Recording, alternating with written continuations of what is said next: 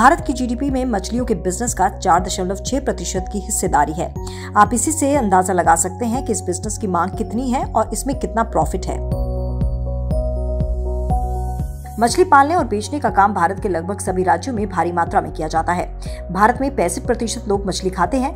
मछली पालन के व्यवसाय से भारत के ऐसे कई शहर हैं जहाँ 22 प्रतिशत आबादी इसी व्यवसाय से अपना पालन पोषण करती है। मछली पालन का बिज़नेस उन इलाकों के लिए फ़ायदेमंद है, जहाँ झरने, नदियाँ, तालाब या पानी की कोई कमी नहीं। इस सभी जगहों पर सुविधा ज़्यादा अच्छी मिलती है, जिससे मछली पालने का व्यापार करना और भी ज़्यादा आसान हो जाता है। वैसे तो मछली का बिज़नेस करने के लिए भी आपको कुछ ज़मीन और छोटे पानी के तालाबों की ज़रूरत पड़ती है, जहाँ मछलियों को कुछ समय के लिए रख सके। इस बिज़नेस में सबसे अच्छी बात यह भी है कि आपको इसके लिए ज़्यादा पैसे लगाने की ज़रूरत नहीं पड़ती। अगर आप इस काम को करना चाहते हैं और आपका बजट कम है तो आप कम पैसों में इसको शुरू कर सकते हैं और ज़्यादा प्रॉफिट कमा सकते हैं। मछली पालन का बिज़नेस क्यों करें? जो लोग इस काम को पहली बार कर रहे हैं या फिर ऐसे लोग जिन्हें इस बिज़नेस के बारे में कुछ जानते नहीं हैं, उन्हें बता दें कि मछली पालन का बिज़नेस भारत में जितनी बड़ी मात्रा में हो रहा है, उससे ज़्यादा ये दूसरे देशों में किया जाता है। मछली से कई ज़रूरी आहार और फ़ायदे होते हैं, जिससे इसकी मांग हर सेक्टर में बढ़ती जा रही है। और इसमें आपको प्रॉफिट भी मिल जाता है। आजकल तो लोग अपने ही घर के आसपास तालाब या छोटे छोटे फार्म में इस व्यवसाय को कर रहे हैं और काफ़ी प्रॉफिट भी कमा रहे हैं। इसमें सबसे अच्छी बात यह है कि लोग कई तरह की मछलियाँ खाते हैं और इनकी प्रजातियों के हिसाब से मार्केट में इनकी मांग और प्रॉफिट है।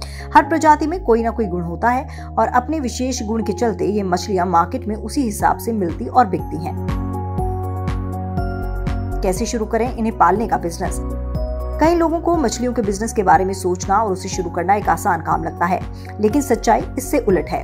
ये एक काफ़ी जटिल काम है, क्योंकि इसके लिए आपको काफ़ी सारे काम करने पड़ते हैं, जिन्हें काफ़ी सोच समझकर पूरी प्लानिंग के साथ किया जाता है। लेकिन अगर आप इसे अच्छी तकनीक और जानकारी के साथ शुरू करते हैं तो इसमें भविष्य में आने वाली कठिनाइयों से आसानी से लड़ा जा सकता है।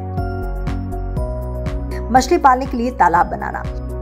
जैसा कि हम सब जानते हैं कि मछली पालने के लिए आपको पानी की ज़रूरत पड़ती है, ताकि उस पानी में मछली के बीज बोकर या मछली के छोटे बच्चों को डालकर इस काम को शुरू कर सकें। इसलिए इस काम के लिए सबसे ज़रूरी एक तालाब को तैयार करना।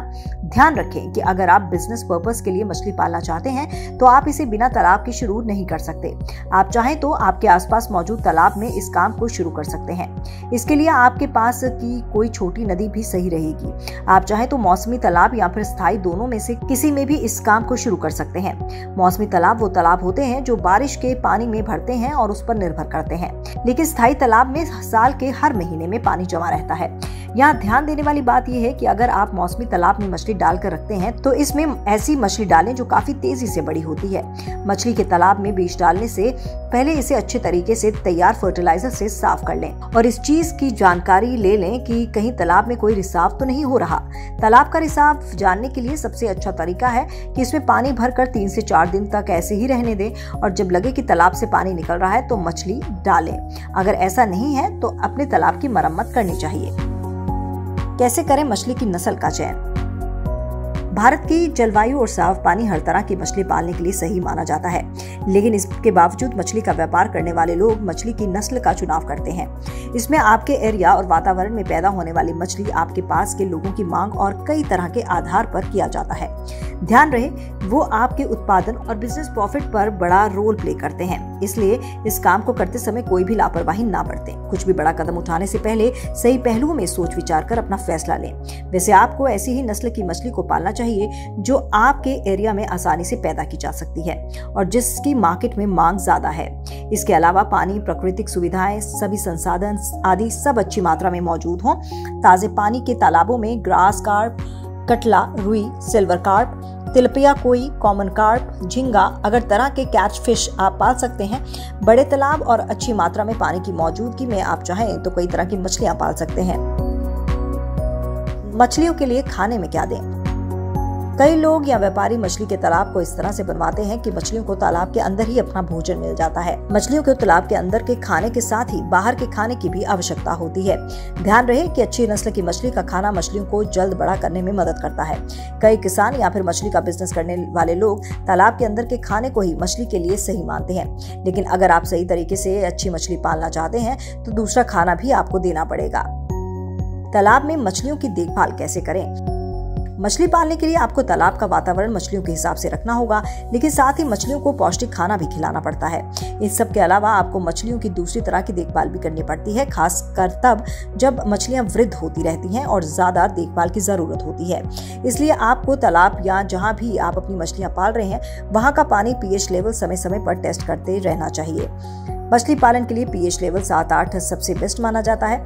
इसके साथ ही आपको मछलियों को नुकसान पहुँचाने वाले शिकारियों जैसे कि बगुले, जल मुर्गी या फिर दूसरे शिकारी पक्षियों और जानवरों से भी बचाना पड़ता है।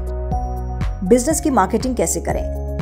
मछली पालने के बाद जब वो बड़ी हो जाए तो आप उन्हें अपने स्थानीय बाज़ार में बेच सकते हैं। वैसे मछलियों के बिज़नेस में काफ़ी कम मौके होते हैं कि आपको मछलियों को मार्केट तक जाने का मौका मिले। मछलियाँ लोगों को इस कदर पसंद है कि आपकी आधे से ज़्यादा मछली तभी बिक जाएगी जब आप इन्हें तालाब से निकाल रहे होंगे। लेकिन अगर आप इसे बड़े लेवल पर करते हैं तो आपको अपने नजदीकी मीट मार्केट में जाकर इनका सौदा करना चाहिए।